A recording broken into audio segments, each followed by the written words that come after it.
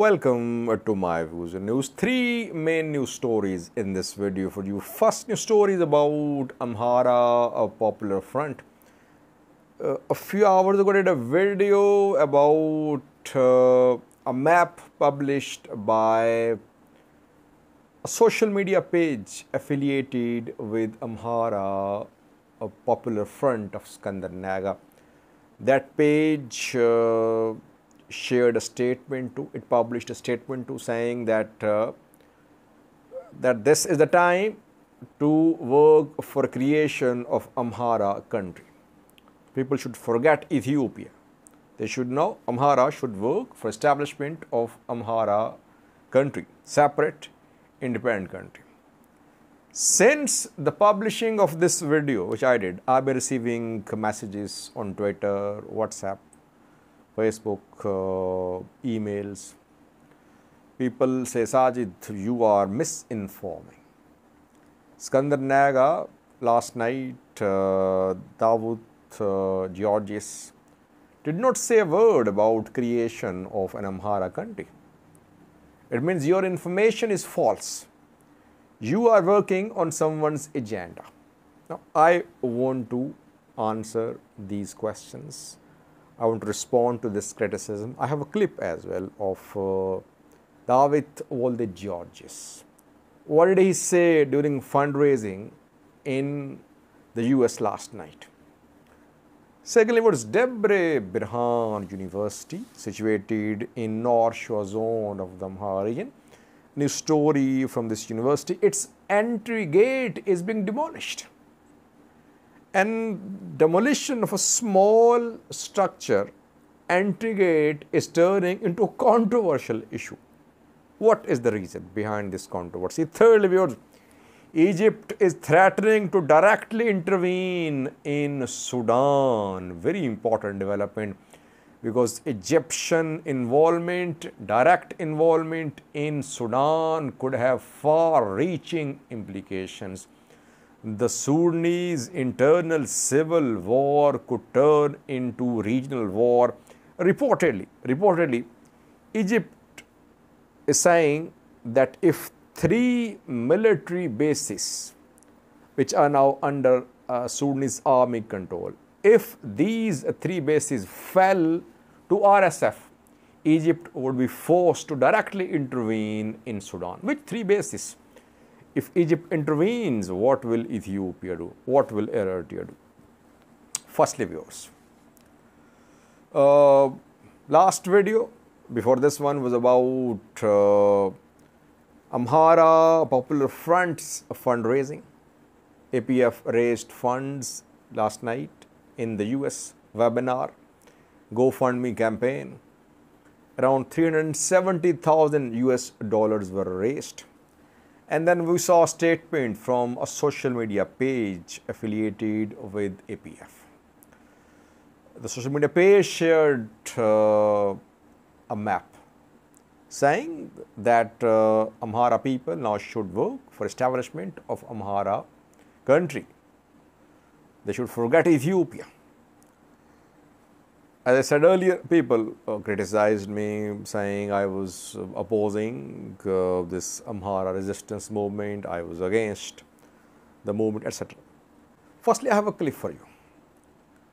The clip shows David Georges, who is APF's foreign affairs in charge.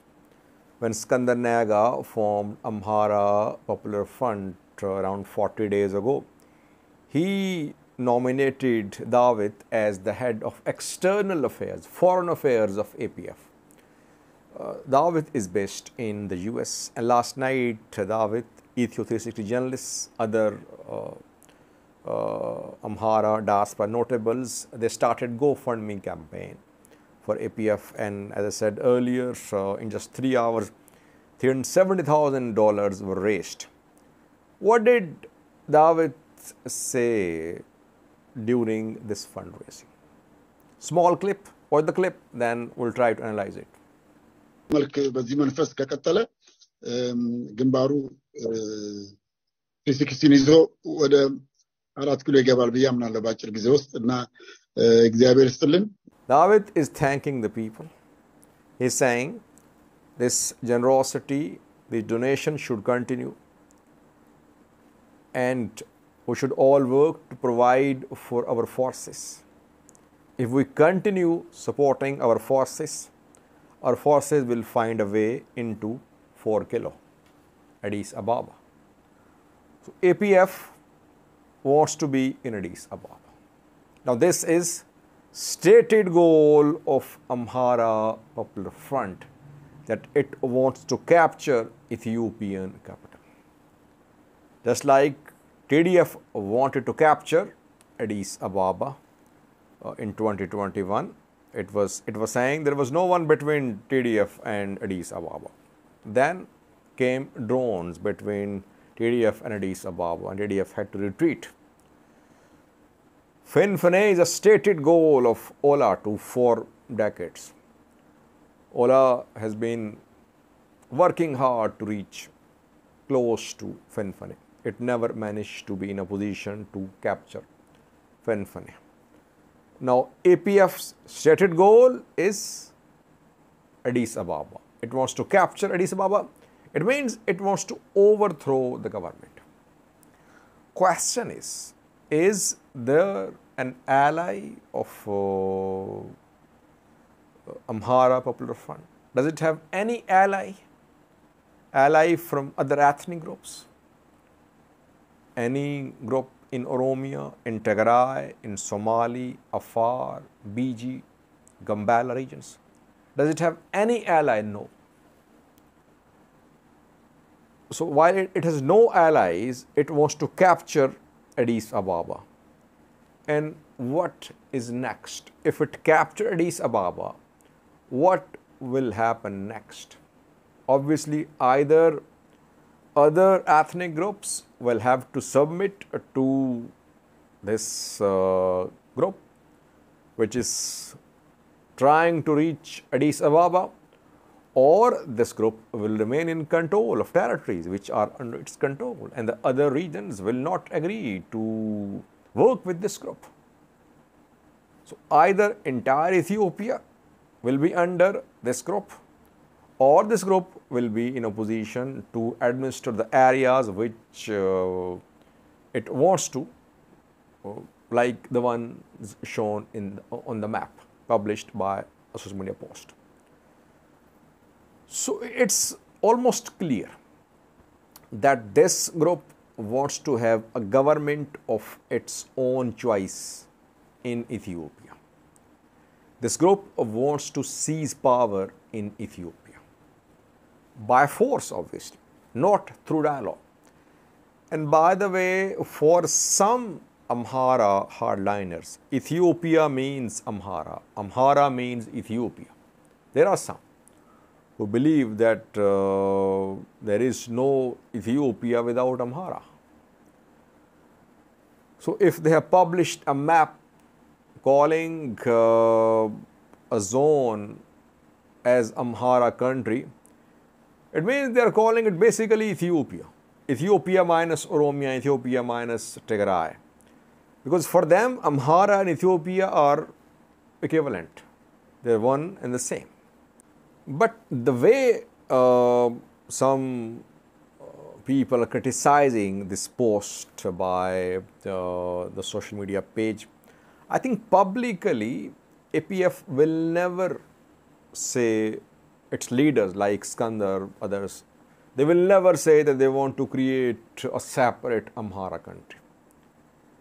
Because publicly this narrative will not be accepted. That is what I said idea was floated today, I think.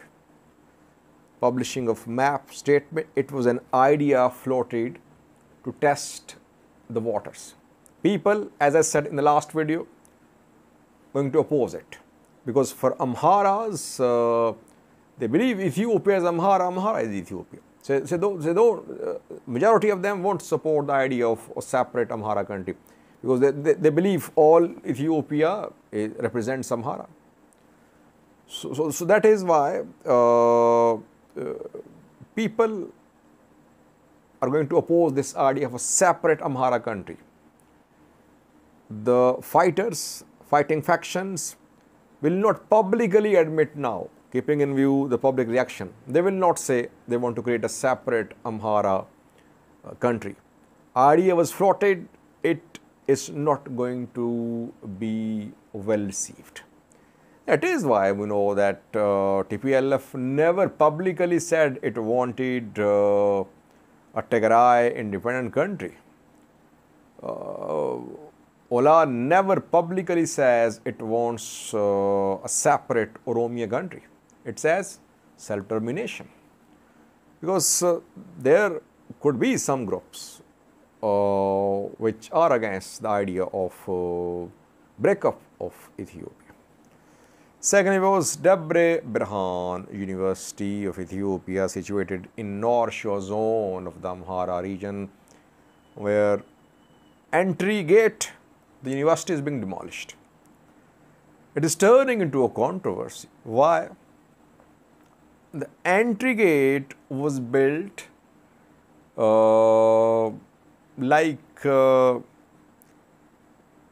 Emperor Menelik's palace, like the uh, gate of Emperor Menelik's palace was built.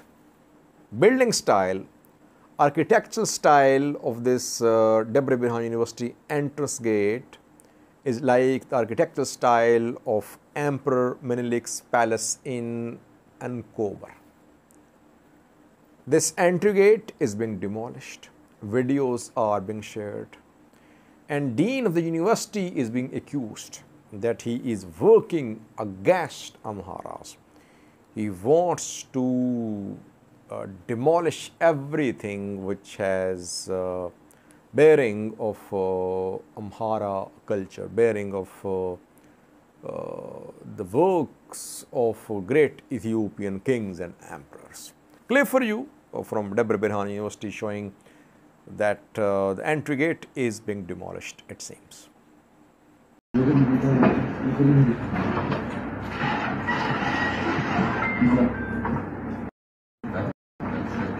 Lastly, was Egypt is threatening to intervene in Sudan. Reportedly, though it has not been announced publicly, but reportedly, Egypt has conveyed a message to international players that uh, it has limits, it has red lines. If red lines are crossed, it uh, will be forced to intervene in Sudan. What are Egypt's red lines?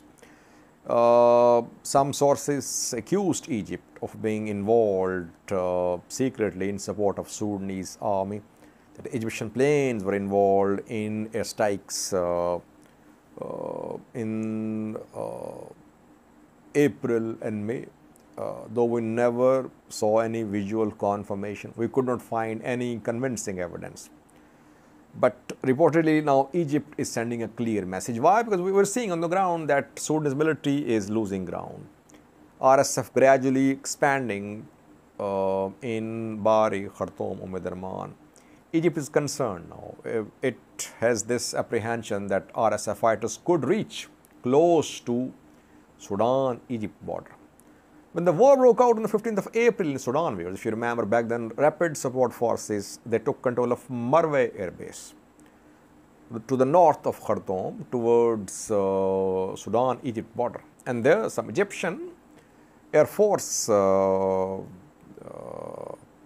officials were there, Egyptian planes were there. RSF captured the base. It uh, took them, took Egyptian military officials as prisoners. Uh, then they were handed over to Red Cross. Now RSF fighters withdrew from Merowe Air Base. Uh, Egypt threatened reportedly. It sent a message to RSF that RSF should remain away from Sudan-Egypt border. RSF withdrew. It tried to consolidate its uh, positions in Bahri, Omdurman, Khartoum. Gradually, we're seeing that strategic sites are falling to RSF. Egypt reportedly has mentioned three red lines that if the red lines are crossed, Egypt would be forced to intervene directly in Sudan. Red lines are three military bases which are now under the control of Sudanese army that if RSF captured the three bases, Egypt could be involved in the form of uh, deployment of its air force, ground troops, etc. Wad Sayyidina base, situated to the north of Halfa al Maluk. We know that uh, RSF fighters have been trying to advance towards Wad Sayyidina base.